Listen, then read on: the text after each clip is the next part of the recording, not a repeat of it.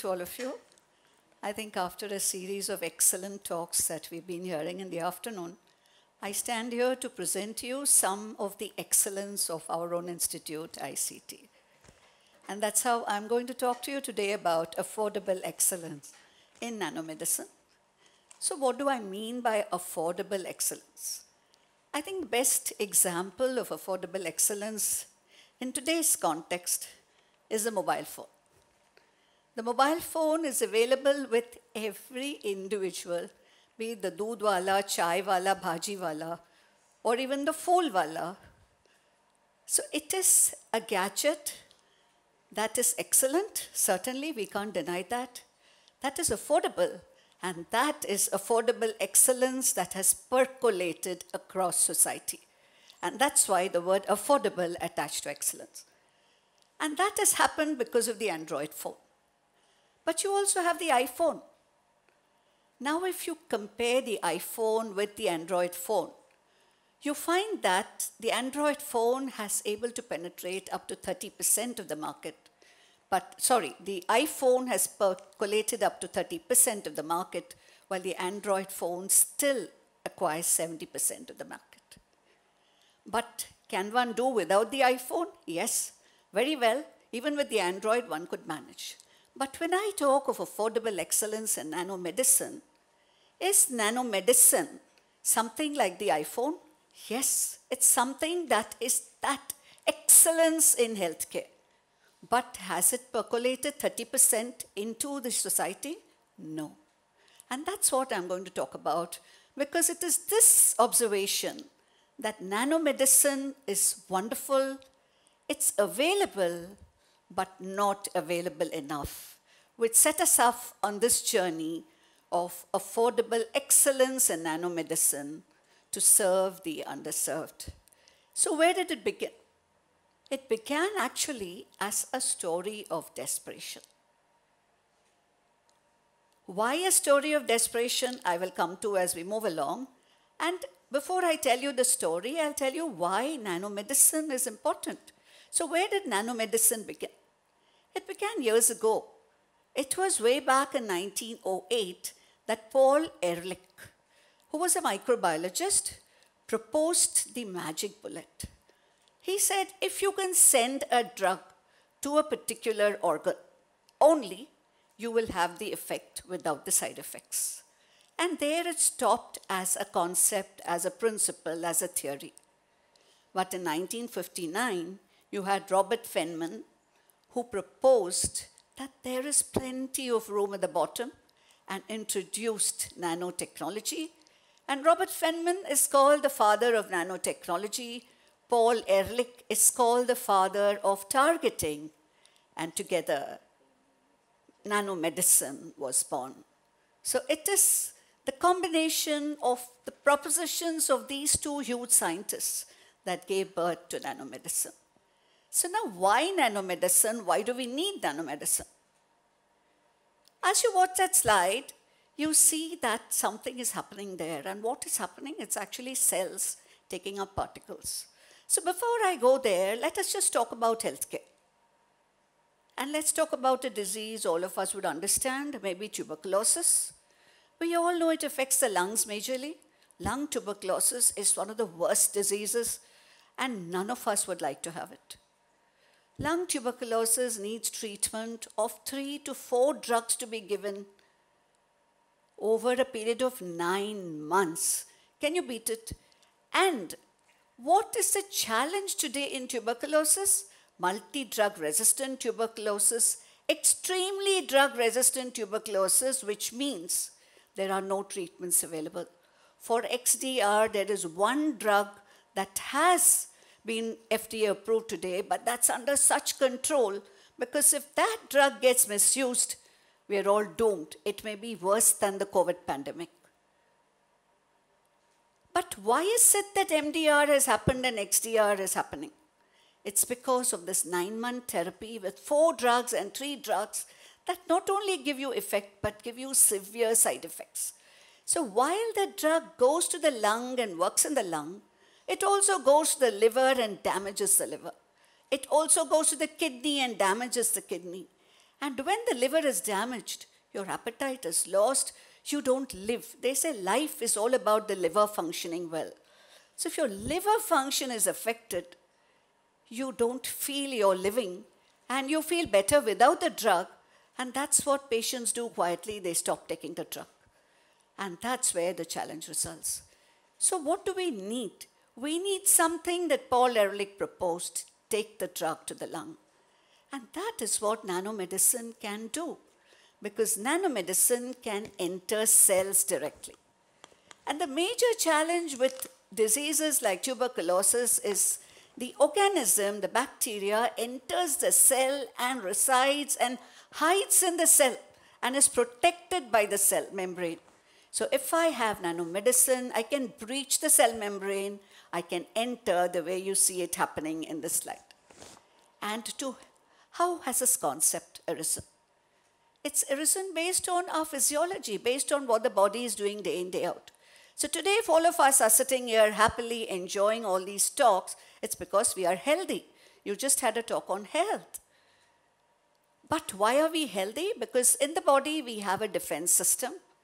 We call it as the RES or the reticuloendothelial system, which is like having a lineup of soldiers in the body that immediately swallow or engulf bacteria, viruses, parasites, etc. And today, the mosquito delivering parasites into us has become such a big problem with the spread of dengue, chikungunya, malaria, etc. But we have this body defense. If it works well, it can protect us. There are some times when it doesn't work so well, and that's when we fall ill. But nanomedicine utilizes these same physiological principles of the body to engulf these foreign organisms because the body treats the nanoparticles that you send in as foreign organisms and they are quickly taken up by the cells. So you're not doing something that is very new. You're only trying to understand the physiology of the body and adapt it to make nanomedicine effective. There are a lot of challenges, there are a lot of bridges that one needs to cross, but nanomedicine has advanced a lot and all that is happening. So when we have nanomedicines that is so excellent, what is the challenge? Why is it that we don't see every patient who needs it being treated with nanomedicine? So before I say every patient who needs it, let me qualify. Every disease doesn't need nanomedicine. But two huge disease categories, one is cancer and the other is intracellular infectious diseases, one is tuberculosis, the other is HIV, you have trypanosomiasis, you have splenic tuberculosis, and you have a host of infections in animals, which are generally never even looked at. So, when you look at what is already there in the market, you find that if you compare it with the conventional medicine, it's right from 10 to 25 fold higher. So if I just try to project some statistics to you, paclitaxel is one drug that is very widely used for cancer therapy, and that drug has got a 6 billion US dollar global market. Paclitaxel liposomal, which is a nanomedicine, has a $1 billion market. But is it covering one sixth of the requirement? No. Because that $1 billion total amount is at 25% extra cost. It's 25 times more expensive than the conventional one, which means it's 1 by 6 by 25. So you know the maximum outreach of nanomedicine is barely 5%. And even insurance companies world over are not covering nanomedicine very readily. The premiums are huge for nanomedicine. So this makes nanomedicine almost inaccessible to the socio-economically lower strata. And you also have another challenge, and that challenge is non-availability. It's not available even if people want to buy it. And when did we see that? During COVID. During COVID, all of you would have read about the black fungus, mucormycosis. That required amphotericin nano for treatment. and it was not available even to people who could afford it. So, nanomedicine is fantastic. It's very expensive, it's not available. So, what is it that makes it so high cost? One is the raw materials that are used, and the second is the technology that is used. So, we decided to start off by looking at cheaper raw materials to bring down the cost using same technology. And we developed a fantastic product for a drug called buparvaquone. Buparvaquone is a drug that is used to treat a typical condition called theileriosis in cattle, not in humans. It's used in cattle and it is used to treat cattle who get this parasitic infection.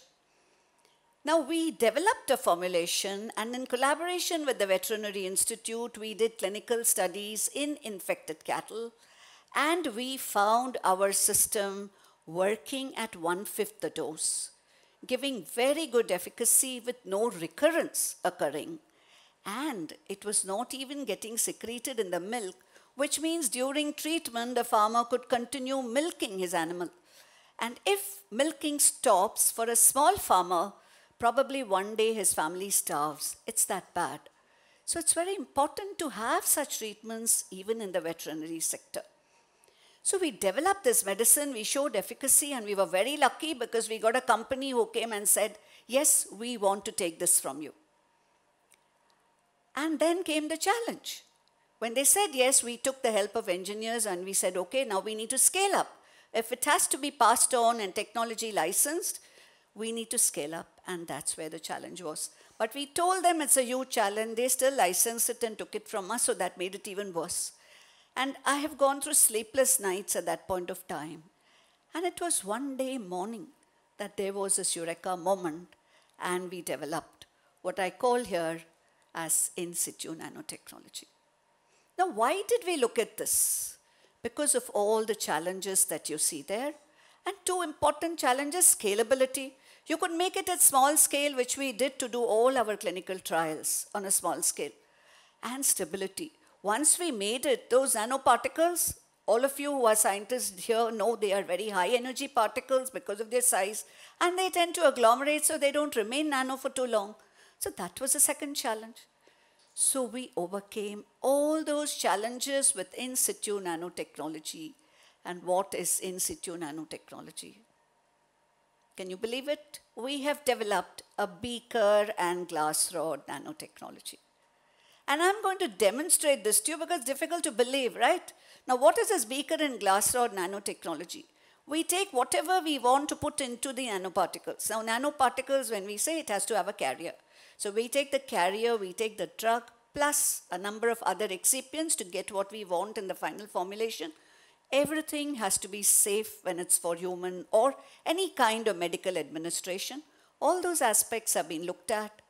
And we just put everything in, and it's like stirring with a glass rod in the lab, but on a large scale, you can just put it into a tank and a stirrer, stir it. Of course, we need to sterilize it, which we can do by filtration because it's a simple solution. So, that again is something the industry can do very, very easily. So, now with that, what did we do next? we had this preparation done, and you can see here live how it works. Now, what you see in that vial is actually what was prepared using the beaker and glass rod technology, which the industry has to do. That is withdrawn. It is then added to dextrose injection, which is widely available in the market in different volumes. Whatever volume you want, you will get it in the market. You just need to buy that. Add this into that and you have ready to inject drug-loaded nanoparticles which match the conventional formulation. We've already done all the studies for this particular drug, amphotericin B, which I'm demonstrating here, which is needed for mucormycosis mycosis, and which is also needed to treat leishmaniasis, a disease that afflicts the poor population. And today it's so unaffordable, and the affordable version is so toxic. So here we have something that we can actually use for human therapy made so simply. And we have one more outcome because today we're talking about the ripple effect. I told you that these intracellular infections are predominant in the veterinary population. So we are looking at theileriosis, we are looking at brucellosis, and a number of other infections. So this is the formulation I talked about for theileriosis, which was again made with the beaker and glass rod technology. So we took buparvaquone, we took a low-cost lipid plus stabilizers and other excipients, just dissolved it by stirring, filtered it. So these are all things that we understand we can just do very easily. Filtered it, filled it into vials, and that vial you'll see here how a veterinary doctor is taking it, putting it into dextrose injection. Here we needed more dilution, so this is almost 500 ml of dextrose, into which he puts, just see how quickly the nano formulation forms, and more than 98% of the drug is in the particles. It's not in the liquid. It's in the particles, which is very important. And this he injects intravenously into that animal. So you will see him actually injecting it into the animal also. He's taking the needle, he pokes the needle first, they have their method, and then they attach this. So you will see him poking the needle, he's done that. Now he's going to attach this there.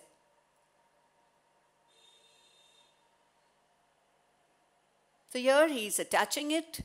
And this is a product which we have the patent granted, the product is licensed, and what you see here is the proposed product of this drug, which we hope would be launched early 2025. So this is one product, but we have studied this technology for almost 11 to 12 products, and we continue to do that with many more drugs, even currently in the lab.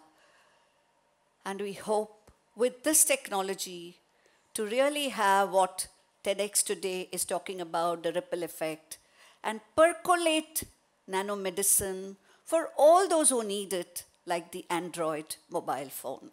Thank you.